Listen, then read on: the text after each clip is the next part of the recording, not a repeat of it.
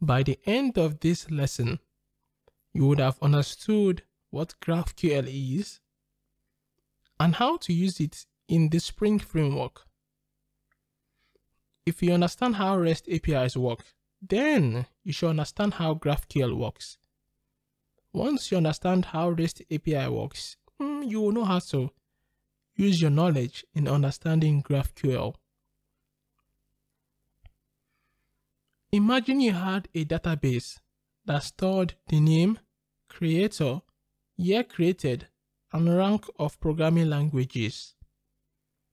It doesn't matter if you have a database in MySQL or even MongoDB.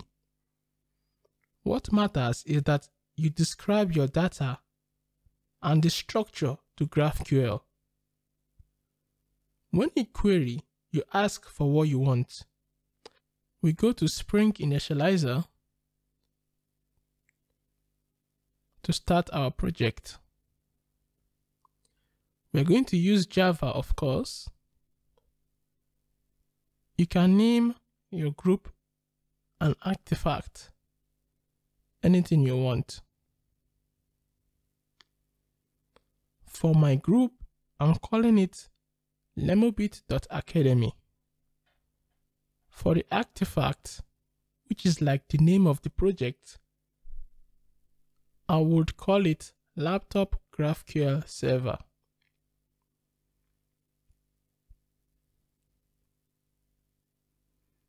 For our dependency, I need Spring Web. And that's all I need for now. So we click on generate.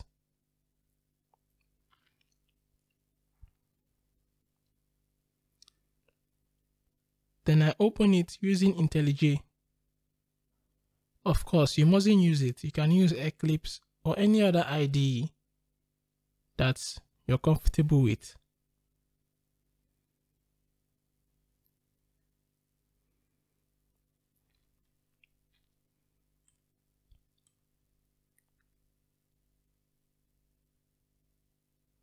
So now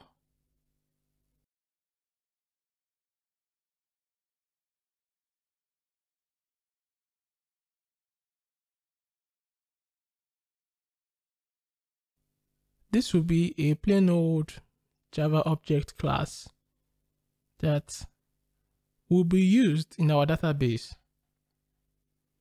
So our database will contain a list of laptops. The laptop will have an ID, name, price, and RAM size.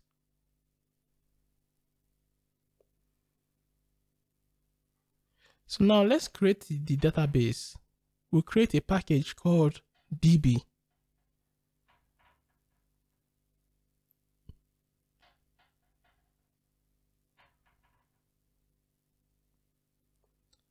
And then I'll create another class called dummy laptop db.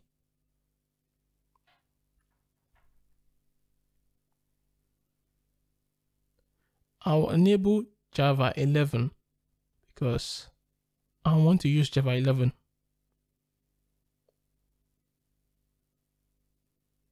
So our list here holds a list of laptop objects ranging with IDs from 1 to 10, different prices and different RAM sizes.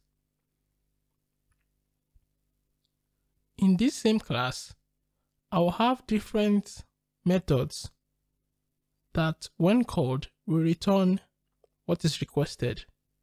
For get all laptops, it will return all the laptops. Get laptop by ID, we check for a laptop that has the ID. It returns an optional of laptop. Get laptop less than gets the laptops that have a price less than that that was passed in the argument. Delete laptop will collect an ID and delete the laptop that has the ID. Your GraphQL server uses a schema to describe the shape of your data graph. It describes the functionality available to the client's applications that connect to it. For example, if you have a class named student that had name and age, you could have a schema that described that structure. We are creating a new file called schema.graphqls in our resource folder. This would be where our schema would be defined. Your GraphQL file should end with GraphQLs.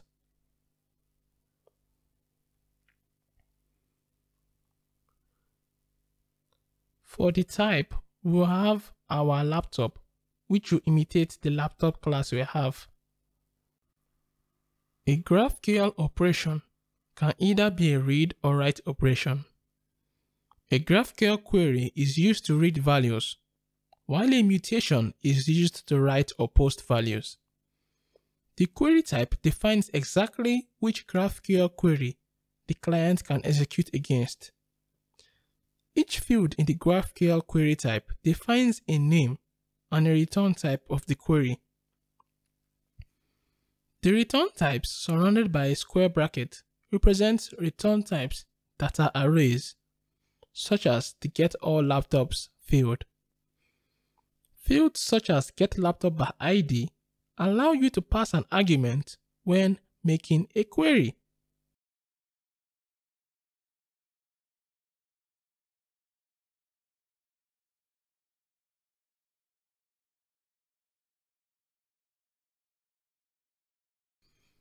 The mutation type, it's actually similar to the query the mutation type defines a single available mutation, in this case, delete laptop. It accepts an ID and returns a laptop noun. We would create another package. We would call it GraphQL because this is where we have some classes that deal with GraphQL. The first class we're going to create is a data fetcher class. A data fetcher is responsible for returning a data value back for a given GraphQL field. So now, we'll have our data fetcher for get all laptops. It will return a data fetcher and when called, it will call the get all laptops from the database.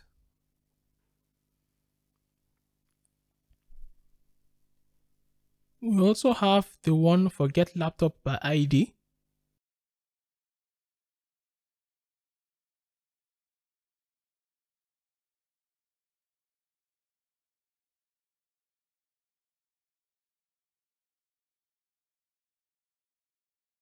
Let us create a class called GraphQL Provider.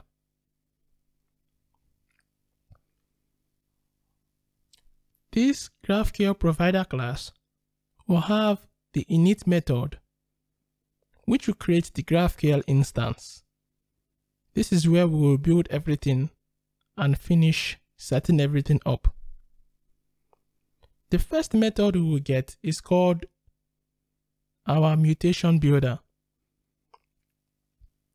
This method is going to return type runtime wiring the type runtime wiring is the specification of data fetchers and possible type resolvers for a given type name. This is used by runtime wiring to wire together a functional GraphQL schema. So here we tell it that when the delete laptop field name is called from the GraphQL mutation, the delete laptop method from the laptop data fetcher should be called. Now, when we want to call the delete laptop, remember that we actually put an argument which was ID when we were creating the delete laptop method. Now we will go and remove that because we do not need that. So I remove the one for get laptop by ID and remove those also for get laptop less than and delete laptop.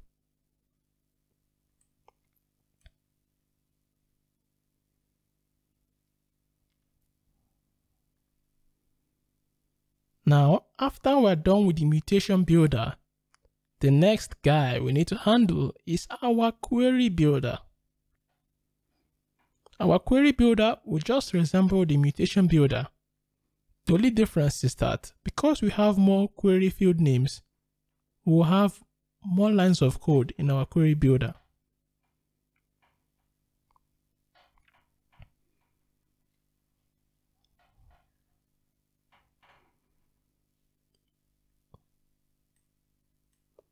Next, we create a method, build wiring, that returns runtime wiring. The runtime wiring uses the type runtime wiring to wire together a functional GraphQL schema.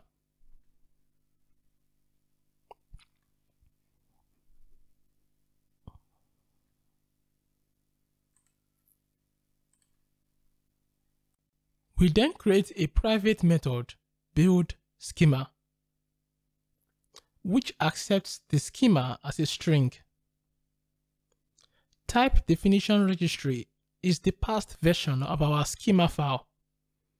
Schema generator combines the type definition registry with the runtime wiring to actually make the GraphQL schema.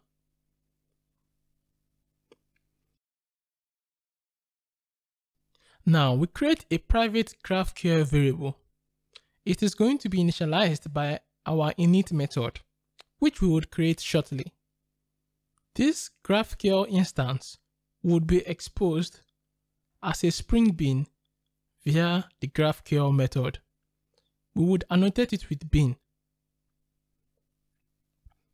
We create our method init and annotate it with post construct. Post construct is used on a method that needs to be executed after dependency injection.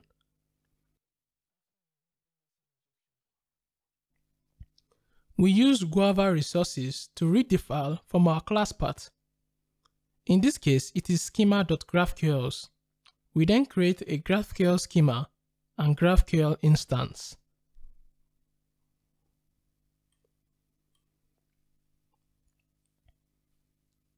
Right now, our application is ready to run and we are ready to blast off.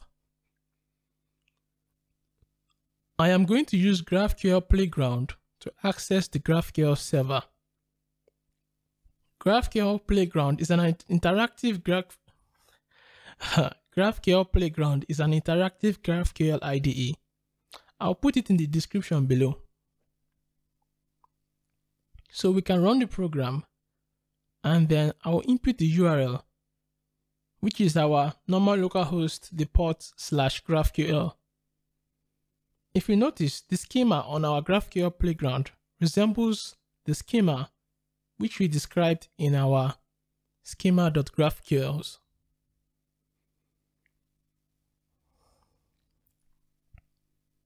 So now let's let's perform a query.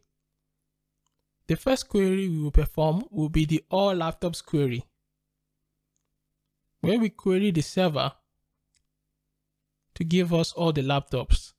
But as we query, let us demand for the things we want. I want the ID, the name, the price, and the RAM. So we query. Now you can see all our elements, the laptops we are attributed. I can edit the query such that I want just the name and the price. You can edit it further in case you just want the name. This gives us flexibility. If it was a REST API, you get what you need to get, whether you want it or not. So now let's get our laptop by ID. Remember the get by ID requires an argument. So we pass in the ID. In this case, ID3. And we want just the name and the RAM. Oops, we have an error. That is because we need to use integer that pass int. The ID comes as a string. So let's run it again. Okay, so now we have the name and the RAM. Let's test that other method. Laptop less than price.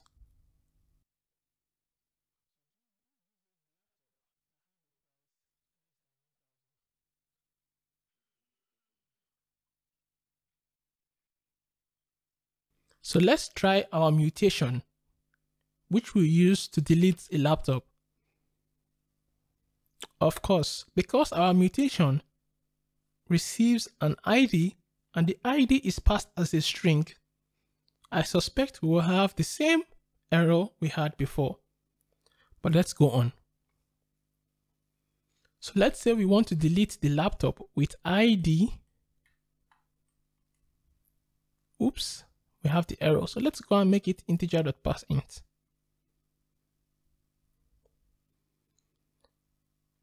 All right.